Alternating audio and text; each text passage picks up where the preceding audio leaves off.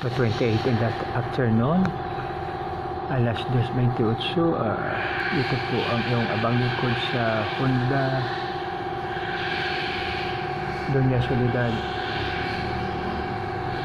Doña Soledad Paranaque City. So ito po uh, ina-check ko po yung belt at saka dala na to linis na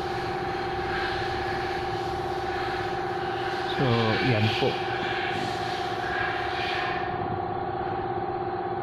Pinacheck ko yung belt kung pwede pa o magtagal pa pati yung pati yung mga bearings niya.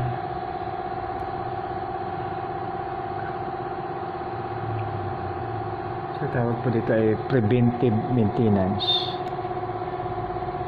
Sa preventive maintenance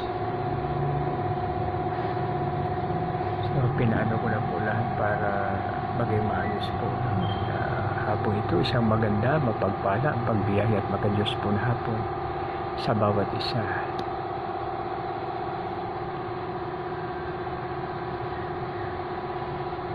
God bless us all.